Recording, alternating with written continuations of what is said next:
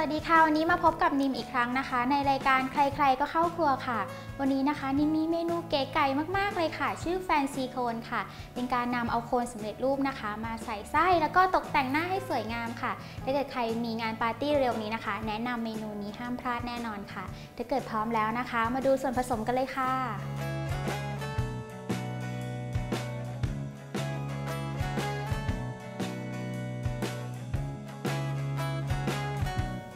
อเคค่ะ เดี๋ยวเราจะมาเริ่มทำตัวแฟนซีโคนกันนะคะสำหรับวันนี้นะคะ นิมจะใช้เป็นโคนสำเร็จรูปค่ะ แต่ว่าถ้าเกิดไม่มีโคนสำเร็จรูปนะคะ สามารถเข้าไปดูวิธีการทำโคนได้ที่เว็บไซต์ foodtravel.tv ค่ะ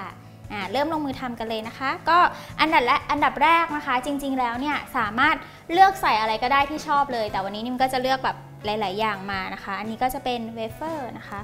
หรือว่าถ้าเกิดใครชอบพวกกล้วยอะไรเงี้ยค่ะ เราใส่เป็นกล้วยก็ได้นะคะ ก็ใส่ไป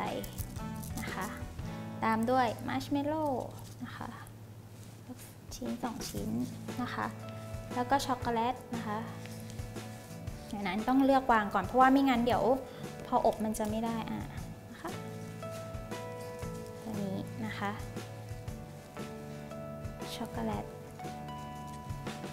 นะคะก็มาร์ชเมลโล่นะคะ ตามด้วยช็อกโกแลต ก็มาร์ชเมลโล่อีกทีหนึ่ง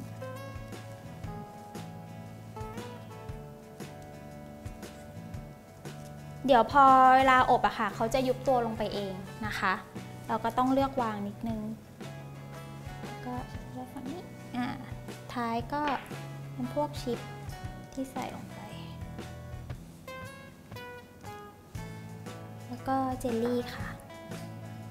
ตัวเจลลี่จริงพอเวลาอบแล้วสีจะไม่ค่อยสวยนะคะ ถ้าเกิดว่าตอนที่ร้อนๆเนี่ยเราก็สามารถแปะเจลลี่ลงไปทีหลังก็ได้นี่ก็แล้วแต่เทคนิคนะคะ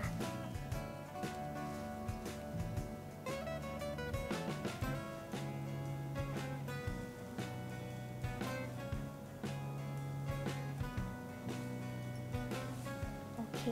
เรียบร้อยแล้วนะคะ จากนั้นค่ะก็จะใช้ฟอยล์ห่อนะคะ อันนี้นิมก็เตรียมเป็นฟอยล์สำเร็จรูปค่ะ ตัดไว้ให้เรียบร้อยนะคะ แล้วก็ห่อเขาปิดทับข้างหน้าค่ะ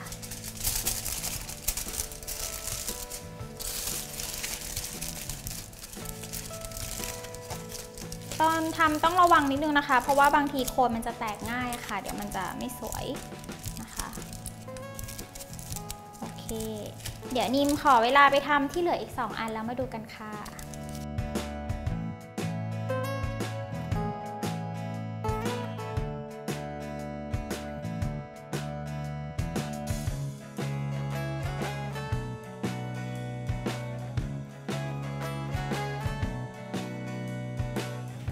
รียบร้อยแล้วค่ะ ทั้ง 3 อันแล้วนะคะ ก็เดี๋ยวนิมนะคะจะนำไปอบนะคะ ไฟที่ 200 องศาบนล่างพัดลมนะคะ แล้วก็ใช้เวลาประมาณ 10-15 นาทีเท่านั้นเองค่ะ เดี๋ยวกลับมาดูกันค่ะ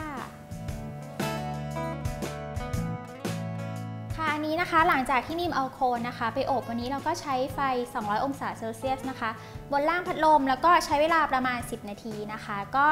ตอนแกะค่ะต้องค่อยๆ แกะฟอยล์ออกมานะคะ ไม่งั้นตัวโคนเนี่ยอาจจะแตกเสียหายได้นะคะ แต่สังเกตดูเนี่ยตอนนี้มาร์ชเมลโล่ยังยืดๆอยู่เลยนะคะ ก็แนะนำให้ทานตอนร้อนๆจะอร่อยสุดค่ะ ถ้าเกิดว่าอยากได้สูตรเก๋ๆง่ายๆ ไอเดียเก๋ๆแบบนี้นะคะ สามารถติดตามได้ที่เว็บไซต์ foodtravel.tv ค่ะสำหรับวันนี้นิมลาไปก่อนนะคะ